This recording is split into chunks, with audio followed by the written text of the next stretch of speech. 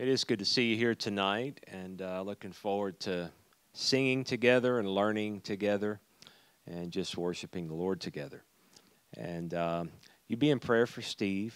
Uh, I think most of you probably know Steve is with his dad up in Ohio. Uh, his dad's in under hospice care, and um, um, I think um, I spoke with him. We spoke with him earlier today, the whole staff, and um, it's probably won't be very long. So you be in prayer for him and his family.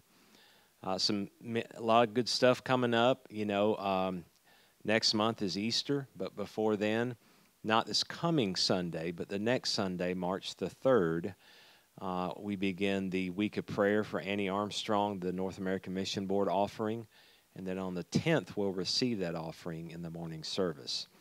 So those a lot of things are coming up, and so just uh, be aware of those. And uh, I, am just so glad to see you here. It's so wonderful to be together. Let me pray for us. Looking forward to Roger breaking open the Word for us, and thank you, Lord, for your presence here. We know that you are always uh, everywhere, but we also know, God, that as your sons and daughters gather together, uh, we know you're going to be near as well.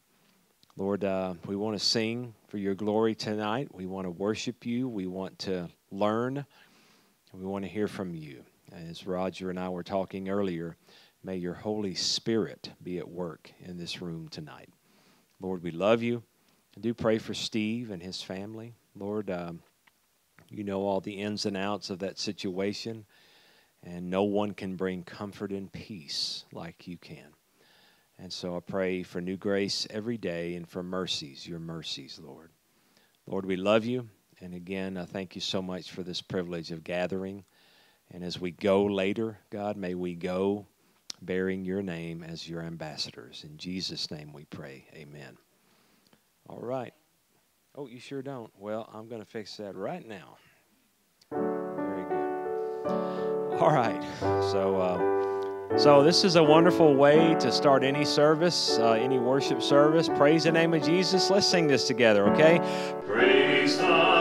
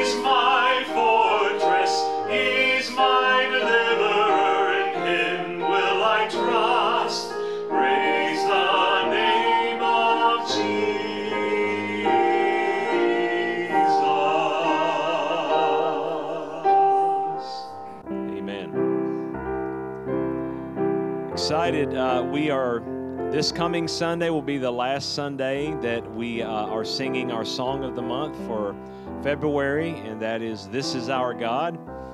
But then on the third, we'll begin singing a new song of the month. It's a really powerful song. I've just really fallen in love with it. It's called Firm Foundation. And I wanted to, before we sing these next hymns, I wanted to read you the words, the lyrics to the first verse. What I mean, just this very first line, what a statement this is. Christ is my firm foundation, the rock on which I stand. When everything around me is shaken, I've never been more glad that I put my faith in Jesus. He's never let me down. He's faithful through generations, so why would he fail now? He won't. Amen. Amen. So let's sing these uh, songs of testimony and be thankful in our hearts as we sing for the way God leads us through life. Let's sing together. God leads us along. Here we go. In shady green pastures so rich and so sweet, God leads his dear children along.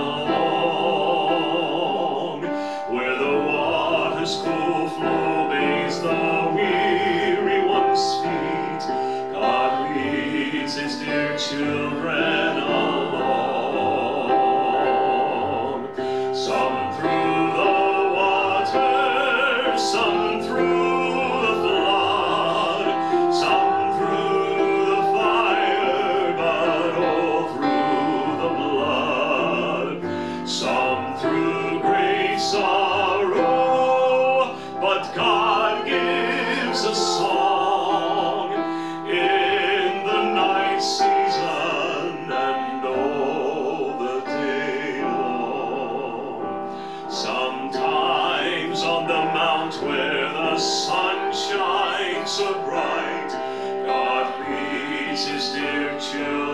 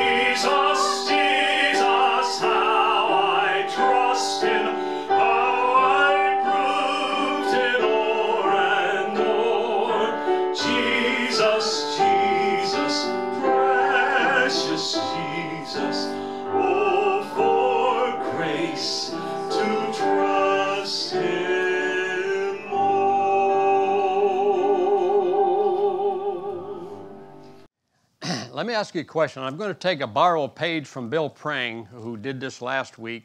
He always asks a question before he starts his Sunday school class. And the question I have tonight is uh, we're going to be in Romans chapter 8, and there's a two letter word that I see here that I want us to uh, unravel tonight and maybe look into it. And the question is this now, don't anybody raise their hand, but I think that everybody here knows what it means to fall in love with somebody. I think we know that. We know what love is, to fall in love with somebody. So I read the first verse of chapter 8, and it says, There is therefore now no condemnation to them which are in Christ Jesus. And I stopped there and I said, What does it mean to be in Christ Jesus? And I kind of thought about that. What does it mean to be in Christ Jesus who walk not after the flesh, but after the Spirit? That's the contingency, is that we're walking after God's Spirit instead of the flesh. Now, when you said yes to Jesus Christ, whenever that was, He made a covenant of grace with you. He made a contact, contract with you. It's almost as if a marriage vow took place. And He said, if you said yes to Christ, you got a whole plethora of the benefits. You're saved in the book of John. You are justified in the book of Romans. You are sealed in the book of Ephesians. And you are kept by the power of God in 1 Peter. You got it all. And in that, he, he sanctified you, that is, set you apart to be an example, a child of His. So when you go out into this world and people see you, they don't see just this beautiful woman over here uh, sitting next to her, uh, uh, a handsome husband. but they see somebody that's an example of Christ. And there's other people in this room that I could say the same thing about. But it's, it's the whole contingency of we're walking after the Spirit. So, what does that mean? In verse 2 For the law of the Spirit of the life in Christ, Jesus had made me free from the law of sin and death. He, knowed, he knew a long time ago that this old farm boy needed a Savior. Even though I was a good boy in high school, uh, they voted me the best citizen. I got a citizenship award in high school. I'm so glad that they didn't follow me around with a camera and see how I acted sometimes. But anyway, but that didn't do a thing for me. It wasn't until I sat on the, an old broken, hewn out uh, bench in the back of Somerset, Pennsylvania church camp that the preacher was preaching. He said, I don't, I don't remember what he said, but he said, You have to receive Christ as your personal Savior. And the word personal meant something to me. It still does to this day. And so, in Christ, the verse 2 verses of chapter 8 is our identity. You're not going to see, uh, when they see Gloria, they're not going to see a beautiful woman. They're going to see an example of Christ. And everybody in this room, when you go out into the world, they have to see something different.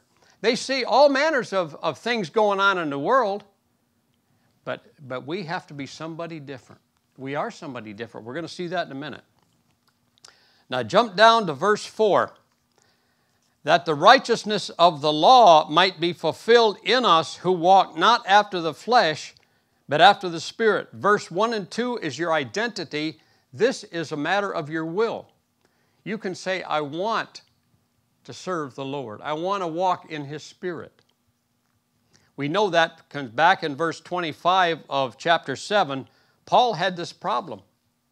Uh, we don't need to uh, go there and, and sit there, but he said, The things that I want to do, that I need to do, I'm not doing. The things I don't want to do, I find myself doing. That's what the world says. And the world says, You're okay. Do you know that the devil sits on the front row of every seat of every church service? And he says, You're okay. Just stay status quo. You're fine.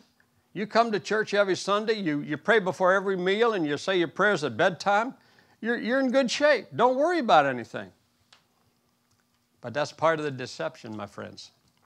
And so Paul says, I thank God through Jesus Christ our Lord, so that with the mind I myself serve the law of God, but with the flesh the law of sin. I said that's a little bit, a uh, little bit contra, controversy, controversial there. But no, he's just making a, a rhetoric statement. He says, I'm going to serve the law of the Spirit of God in my mind. I've made that determination. Now, uh, I can't believe, I know none of you have ever sinned in this room. but I, I have fallen a couple of times. But, but the Bible says that uh, even though you've, you've tripped and you've stumbled and you fall, I will not utterly cast you down, but I'll lift you up by the powerful right hand of God.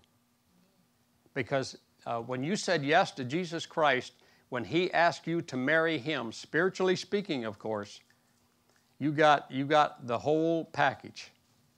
And He put His Spirit within you.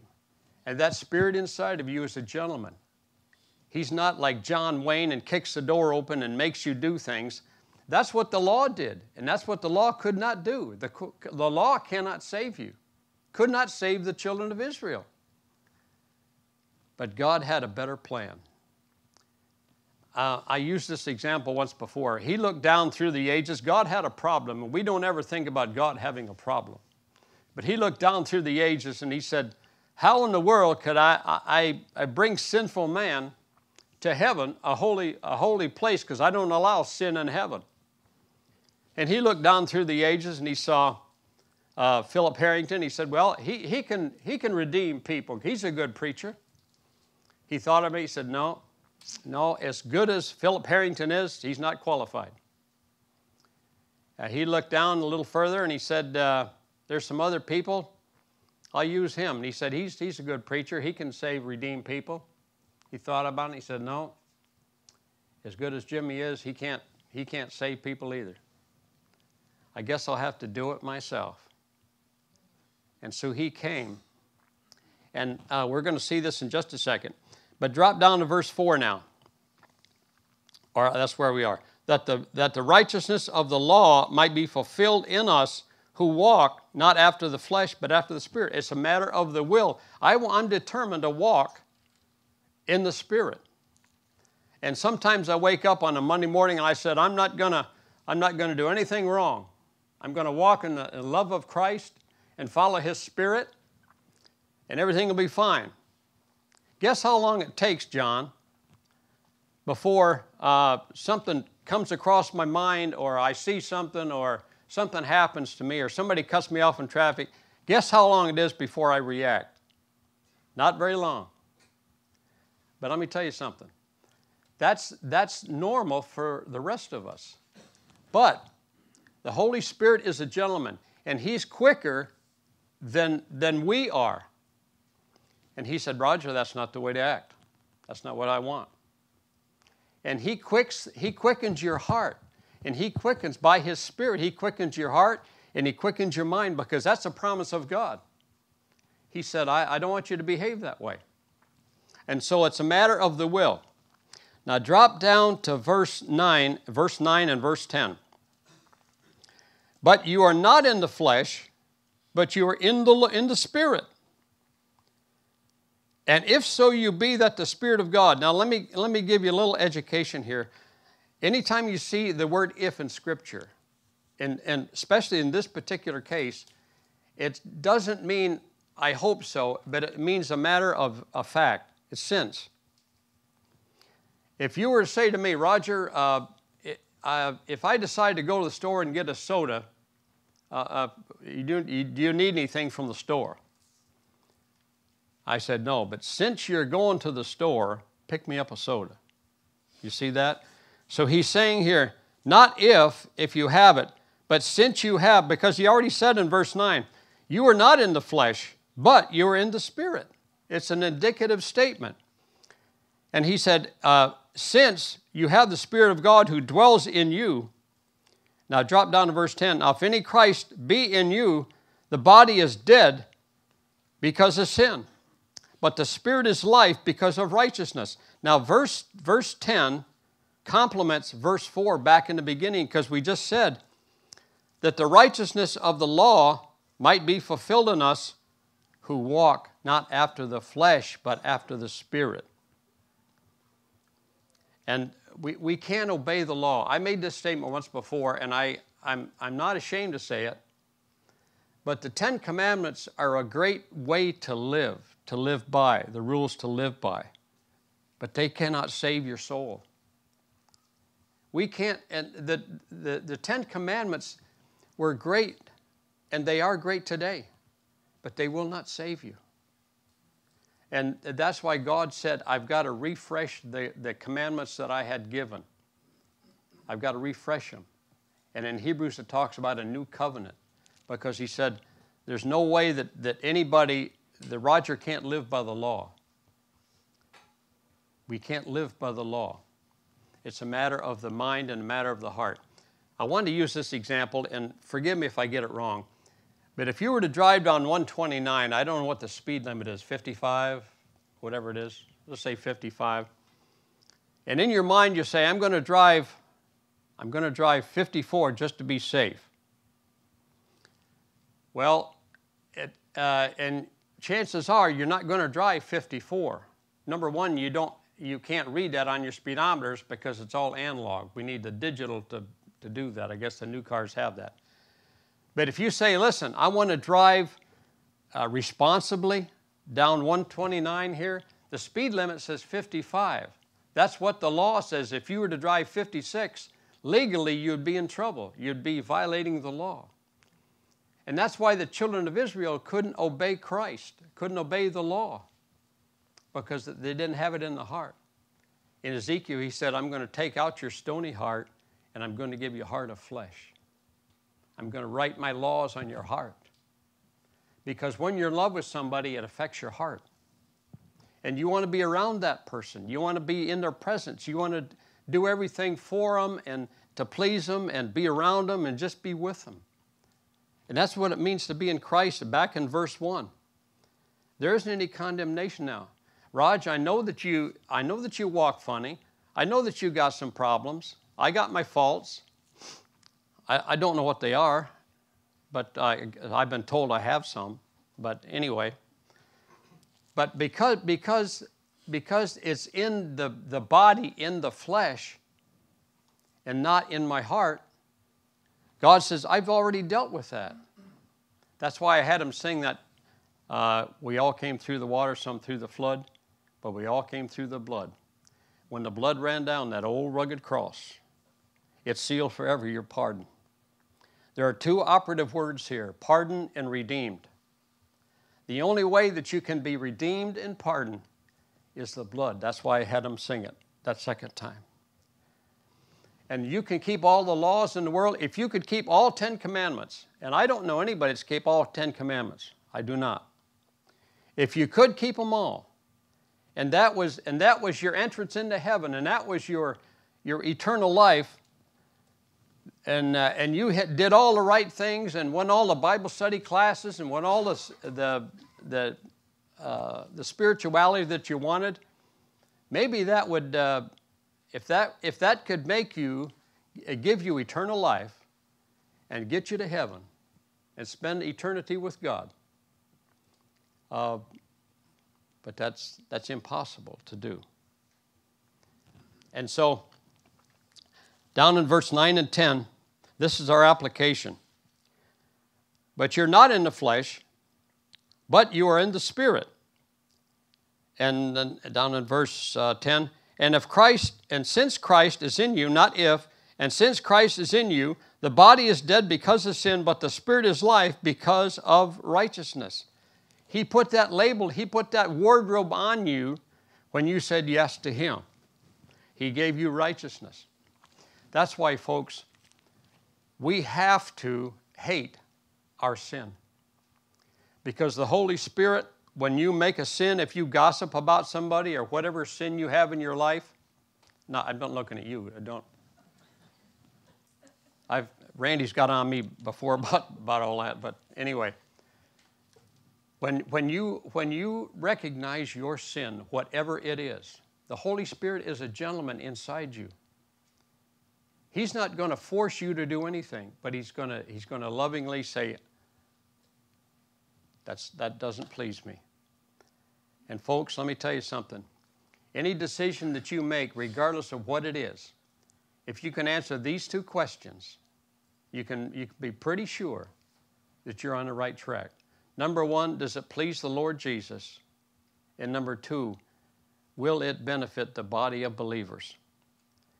If you can answer yes to both of those questions, more than likely you're on the right track. And I hate my sin, folks. I'm not going to tell you what it is. You don't need to know. Don't you, don't you ask.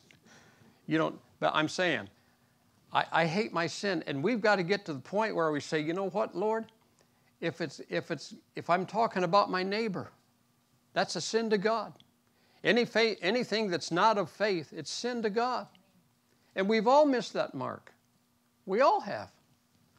But he said, I've already dealt with it, Raj. And that same spirit that raised Jesus from the dead will quicken your mortal bodies by the spirit who dwells in you. He'll make you alive. And you can be, uh, uh we don't have time to get into it, but Paul says, before, before the law came, I was alive. I was doing everything I wanted anything I wanted to do, I was alive. Then the law came and said, You can't do that. You got to drive 55 miles an hour. Well, I feel like driving 90. But when the law, when the, but when the Spirit comes in, Roger, drive responsibly.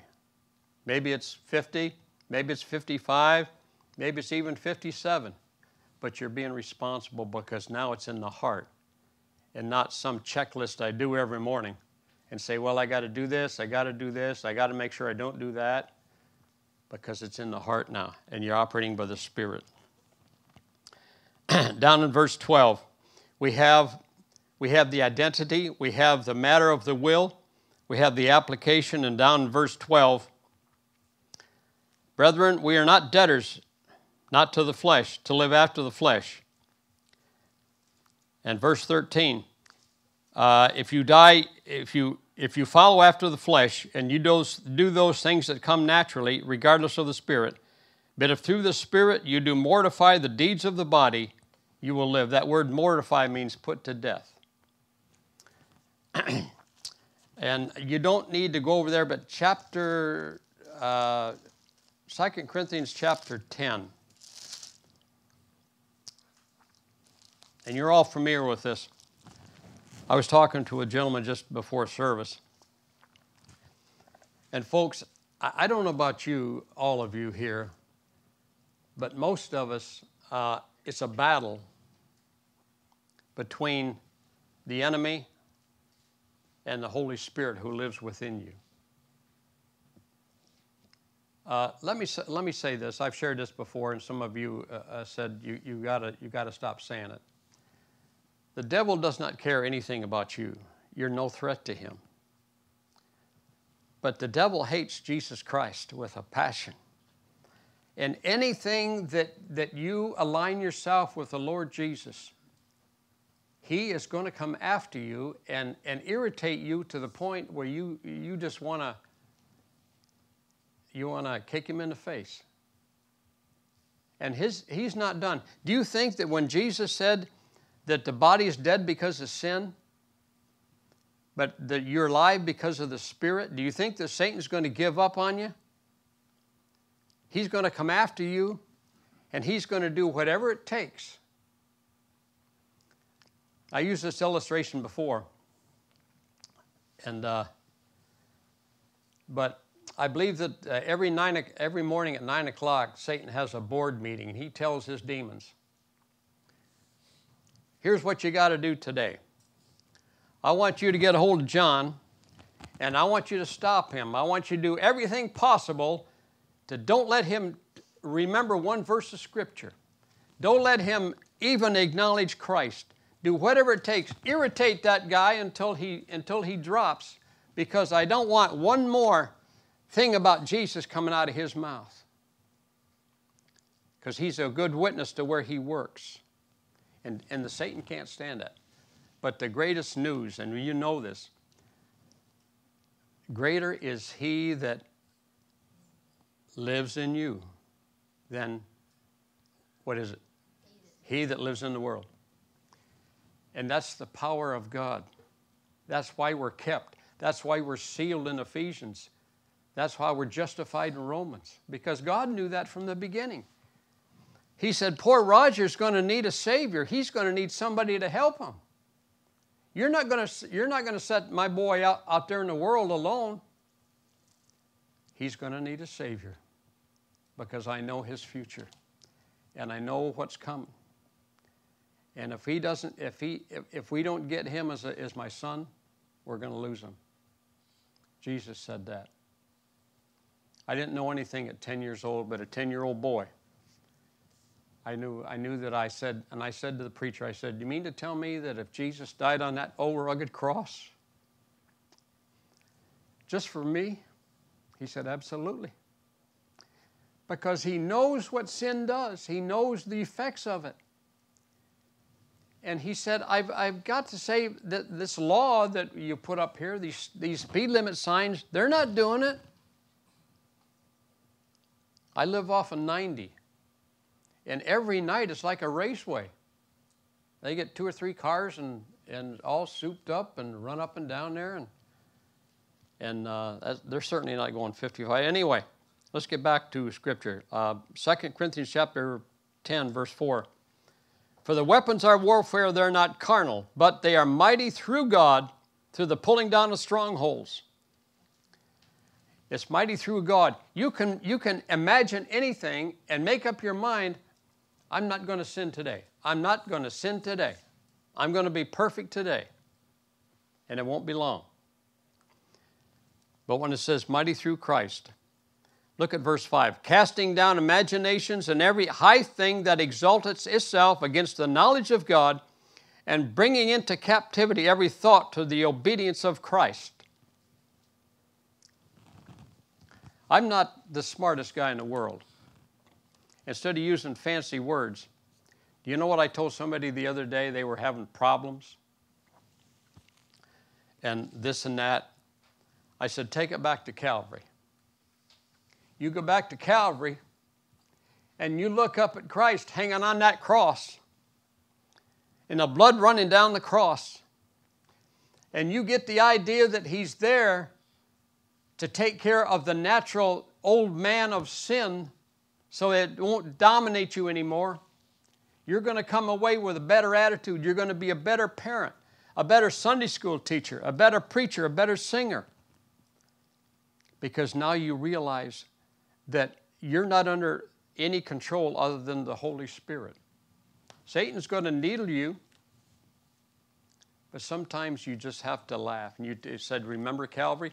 I told him the other day, I know you people might think I'm a little odd, but I was out in my shop and I was having a problem. And I was getting frustrated. I got to admit, I was getting frustrated. And nothing was working right. And uh, I broke a tool.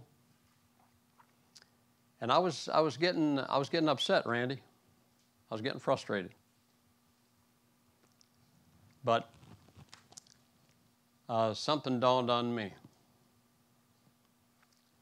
And I knew, I knew that, that I had to do this tonight. And this week, he's needled me uh, too many times.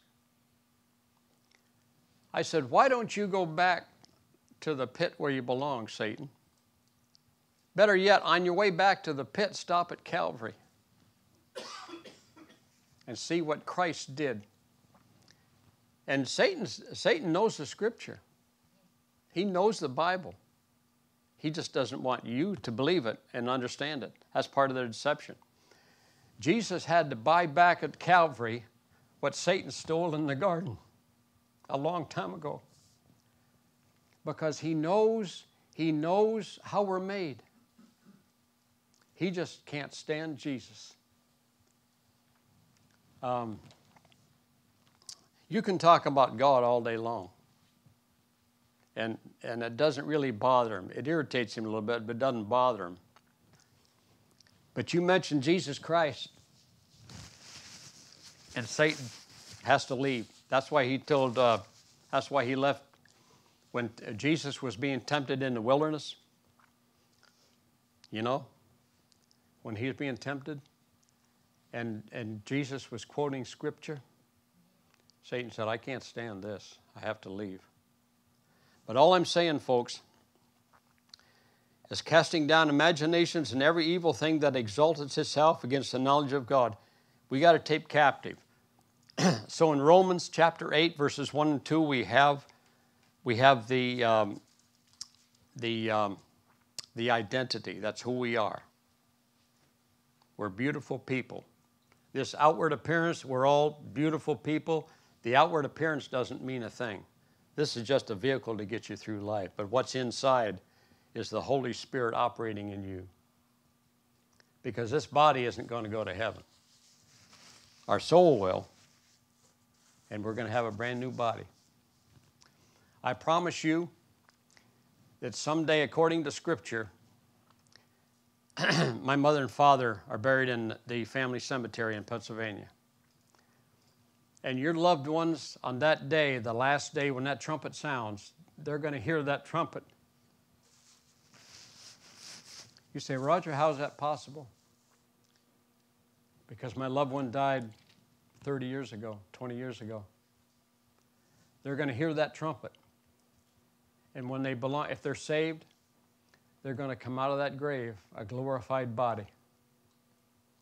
Because we know that from 1 Thessalonians chapter 4 the dead in Christ will rise first, and we which are alive and remain, that means that some of us are going to be alive at that time. We're all going to meet each other in the air and spend eternity with, with the Father. And so when it says bring everything to the obedience of Christ, take captive all of those things that come into your mind, that come into your heart, whatever it might be.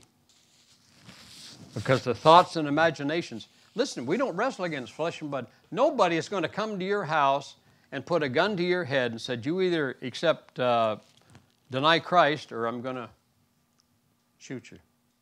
That's not going to happen. I'm sad to say that does happen to some people. But we don't wrestle against flesh and blood, folks, folks, but against principalities and powers and the things in your mind. and one, one thing, when a thought comes to your mind, it's easier to deal with it when it's in your mind. Because if it travels 18 inches and gets down into your heart, it's a lot harder to get rid of. So when a thought comes to your mind, let's say this precious lady right here. I can't walk too far because they said you only got three feet. But anyway, when this precious lady, if she said something mean to me, I said, Boy, I can't wait to get even with her. I'm going to get even somehow. But uh, I said, Lord, every emotion that we will ever face in our entire life, every, every emotion that we will ever face, Jesus has already been there, dealt with that, paid for it in full. Every emotion. He went through it physically, mentally, spiritually, and emotionally. And so we've got, we've got that, that power within us. Now, that's not to say that we're, we're not going to make mistakes, we're not going to fall. But, my friends, the Spirit is a gentleman, like I said before. if I start to gossip about this precious lady here, the Holy Spirit's a gentleman said, you, you get on the phone and you call her. What I said to somebody about this precious lady, and you make it right. That pleases God, and that displays the righteousness that God has already put on you. I guarantee you, if you bought a new, I'll talk to a guy here, if you bought a new coat, you'd be proud of that thing. You'd want to wear it to church. You know, I don't know what you ladies wear, uh, buy or blouses or thing or whatever, sweaters, whatever. But you'd be proud of that. And that's part of the righteousness that He put on you when you said yes to Him. Now, let me close with this. Turn over to 2 Corinthians chapter 15, verse 57.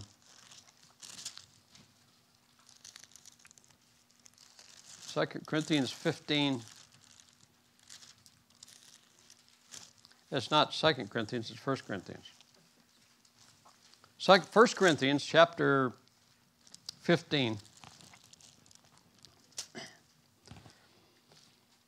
In verse, he, in verse 58, he starts this, uh, says this Therefore, my beloved brethren, be ye steadfast, unmovable, always abounding in the work of the Lord, inasmuch as you know that your labor is not in vain in the Lord.